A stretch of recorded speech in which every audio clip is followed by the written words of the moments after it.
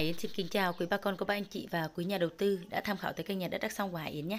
Hôm nay thì Hải Yến sẽ đi quay cho các bác cùng tham khảo một cái mảnh đất à, thuộc xã Trường Xuân, huyện Đắc Song, tỉnh Đắk Nông nha các bác.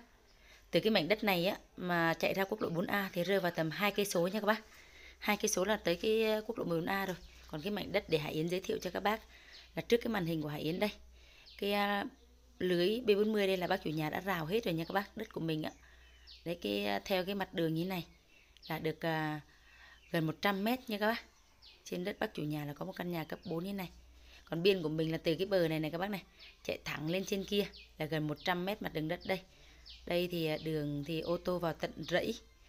Đấy, cái diện tích mà để Hải Yến giới thiệu cho các bác là hơn 2 hecta nha các bác 2 hecta 2 còn trong bìa là 2 hecta nha các bác. Đấy thì à, bây giờ Hải Yến sẽ vào trong để quay cái à, căn nhà cấp 4 và mảnh vườn cho các bác cùng tham khảo nhé.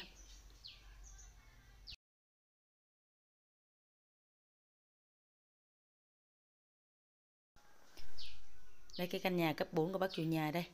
Thì à, xây thì cũng khá là kiên cố. Bác nào mà à, mua về thì mình sẽ làm thêm cái công trình phụ đằng sau nhé các bác. Cái mảnh vườn của mình đây thì bác chủ nhà hiện tại là đã trồng được 1.000 cây cà phê và được à, 300 cây mít thái như này này các bác này đang cho vào kinh doanh. Đó thì cái giá của bác chủ nhà đưa ra cho cái mảnh vườn của mình á là 2 tỷ tư nha các bác. 2 tỷ tư có thương lượng nhẹ nhé ở đây thì à, đất đỏ ba gian. Đấy, cực kỳ là dễ làm đất thì à, thoải nhẹ. Nhà cửa đầy đủ điện nước đầy đủ luôn nhé các bác. Nói chung một gia đình an cư lập nghiệp thì cũng khá là thuận tiện cho cái mảnh vườn của mình.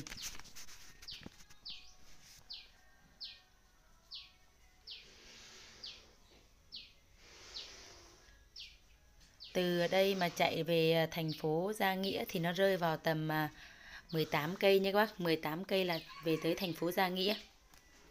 Đấy, mít thái đang cho vào thu chính nhưng mà cái này mình à, phải vặt bớt đi các bác. Để nhiều quá nó không có tốt cho cây mà cũng không có được năng suất cho lắm. Đấy, đất thì đất đỏ ba gian cực kỳ là đẹp.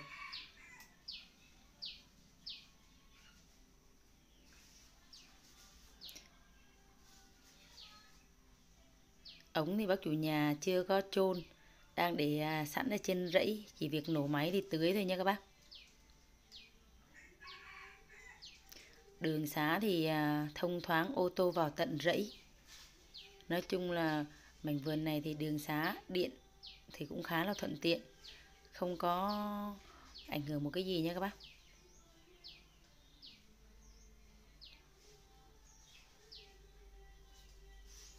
Đây, bác chủ nhà vặt bớt đây ở dưới này là cà phê này. Cà phê cũng đang uh, cho vào kinh doanh nha các bác. Cà phê cũng đang kinh doanh. Chính. Còn uh, ở dưới góc dưới kia là cái ao của mình rồi. Cái ao của bác chủ nhà dưới. Đất thì nói chung là nó thoải. Cà thì đang kinh doanh cũng khá là đẹp nha các bác.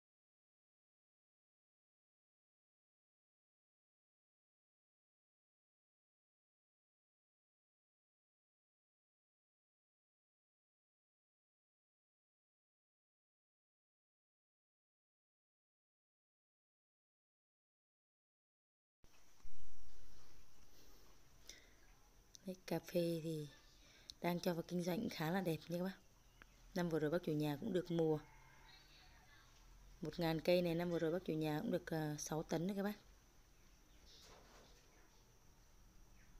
Bác nào mà xem video thì cho Hải Yến xin một like và một đăng ký kênh nhé Để ủng hộ Hải Yến nhé Nếu bác nào quan tâm thì alo trực tiếp Hải Yến sẽ dẫn các bác vào tận vườn các bác cùng tham khảo. Hải Yến xin tạm dừng video.